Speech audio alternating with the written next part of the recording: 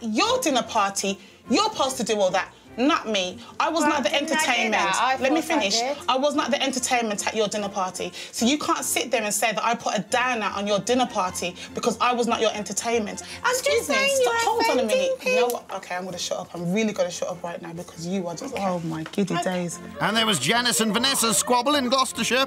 Take Don't start on me, Janice, all right? Because I won't put up with it. I won't just sit here like he will and take your crap.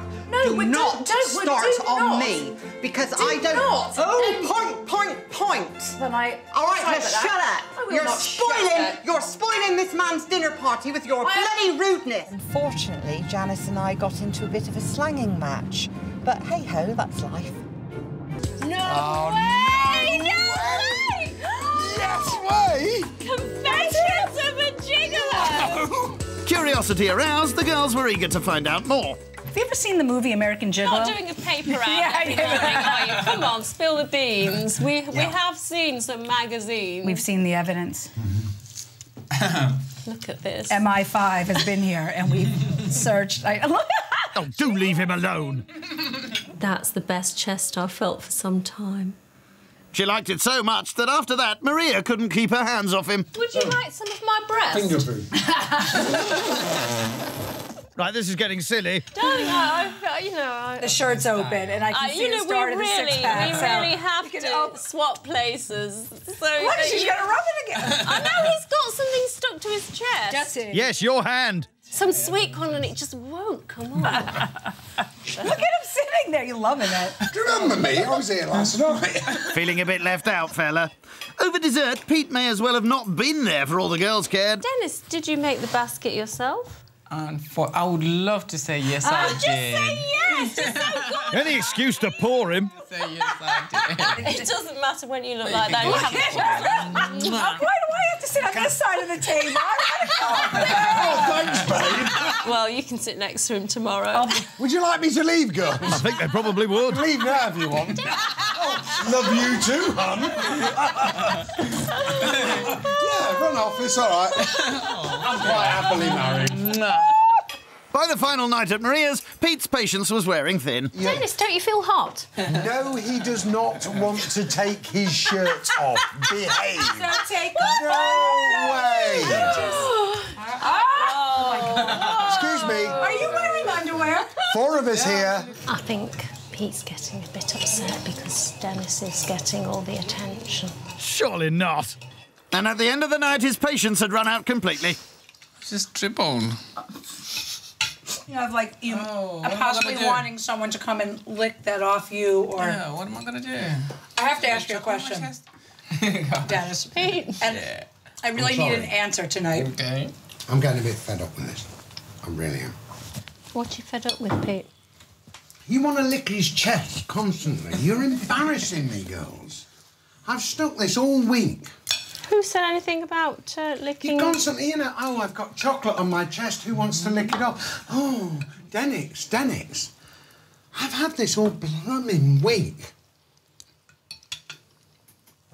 I'm sorry, it's wearing thin. It really is. It's embarrassing. It's embarrassing for me.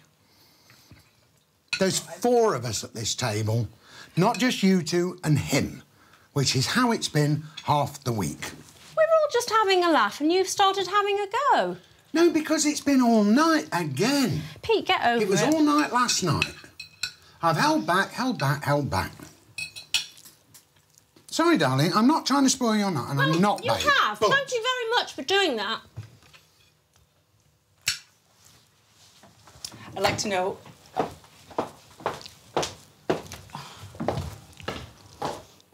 I didn't think you had to be so rude like that. To be totally honest, I think you just went a little full force. And if you were upset you've about it, maybe this you feel all something. blooming week. Well, it's a bunch of people getting it, together having it, fun. it. What's the No, problem with ever that? Then constantly. You know, we've had innuendos all week. It's just been a lot of fun. Not for Pete, it hasn't, the poor dear. Then You know, this is about four supposedly adult people, married people, carrying on in the married world. You know, not flirting with a kid that's young enough to be their son. Goodness sake. I don't know what she puts what together. I think she must get it all very cheap in the charity shops. I just can't believe it, the clothes you got in there.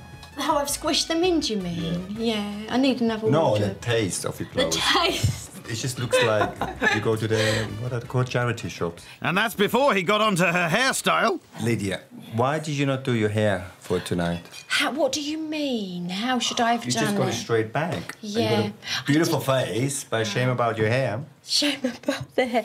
Um, I didn't have much time, to be honest, because I was focusing on the food. And he soon started on everyone else. You finished your dinner then? Yeah. Did you like it? Yeah. What, what happened? eaten it all. to, what happened to your hair then? I don't know.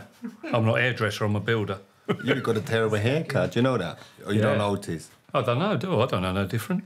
What happened to your hair? Just a minute, be gentle with me. I backcombed my hair. I you got like crimpled it. I put What, everything. tonight, Anthony? I know. What? You backcombed your hair? Yeah. You look a little bit greasy. What do you mean greasy? I've got gel on it. A nice wig would suit you. A nice gag would suit you. And Marcello's rudeness wasn't confined to what his fellow diners looked like. Can I just say something? What? Look. My hair. A pubic hair. Ah, you Yeah. I, I got good eyes. It looks lovely, but look at that. That's a pubic hair. On another night, he managed to put them all off their food. That looks like a sick bag, you know, in- on the planes. Oh, you oh, that- ruined is it! That's real.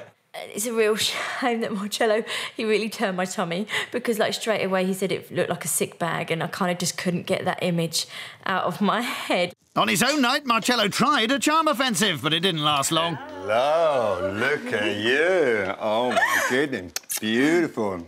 You you got some taste then? I'd say. Yeah, so you have no taste. Very nice, very nice. I thought she got no style, but everything is matching. I can do the hair much better than it is, but we can talk about that next time. Liz, you make an effort. But yeah, I did make the effort Yes. for you. Oh, that's so. good. But what's happened to you? That's not effort. And later in the week, as they rooted round artist Anthony's bedroom, he found an unsavoury collection. Mr. Hairdresser, what do you think of this hair? It's pubic hair. Yeah, is it good? No. No. And it's terrible. Unbelievable. No, he definitely got something wrong with him. There you go, Lydia. Thank you. Oh, thanks, Anthony. Bit of a dark horse, are we? How can I eat that now? Why? What do you mean? How can you eat it now? Just to see in your bedroom. But can I see? No, can I? I'm not joking. Can I see your kitchen first before I eat that? No, you try the food. That's why you're here. Oh my god. Um, um, Do I have Marcello? to? You sure it's not some skin or dirty old um, someone's dead body skin or something? Trust me, trust me. there is And even the conversation came under attack. Boring. No, no, it's not boring. Boring. This is Fluffy. Fluffy wants to join the dinner party, don't you, Fluff? Yes, please. Oh dear, I'm not sure Famida's going to want to kiss Fluffy. Dessert. Huzzah! Thank you. Fantastic. there thank you you. go. I shall just get yours. Did you see the snake? No. Well, have a closer look. Andy. Thank you. Is this for real? This is my friend Fluffy. Is that your pet? When your husband isn't around? He, he is my pet, yes. It's a young boa. No, he's a corn snake, bless him. I wouldn't have a snake on my table when I'm eating. Is this a normal thing for you? He, he's a big part of the family. We've had him for eight years now. And he's going to poo. Oh, my God. Surely he won't. Just in case I'm really, I'm really... He's going to... I'm sorry. Oh, my God. I said we should have got him out yesterday. Oh, no. Well, that's something you don't see every day. Can I leave now, please?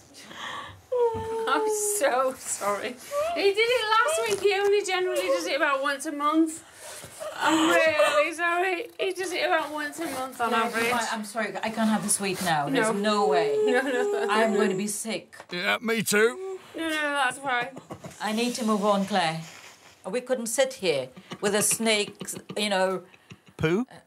Well, There was this kind of hushed silence when you had this kind of terrified voice from Claire going, "Oh God, I think it's going to poo." the snake pooing on the dining table was the most appalling thing I've ever seen.